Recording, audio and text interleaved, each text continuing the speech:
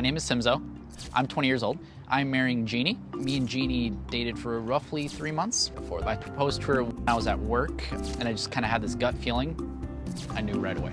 There's a park near downtown, uh, and, there, and it was on a cold night. Uh, there was waterfalls in the background, so we happened to be on the rocks. So I just got on down on one knee and I proposed to her right behind the waterfall. I had no idea what I was in for when this whole thing was happening.